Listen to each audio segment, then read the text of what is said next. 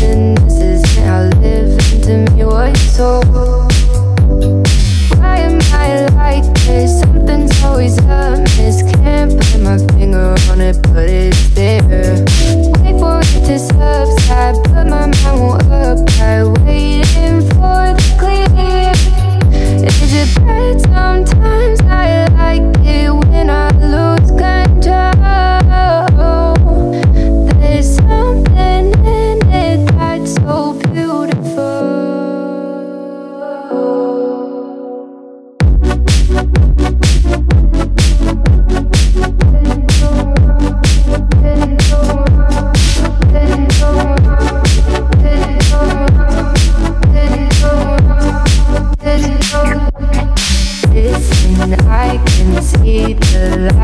But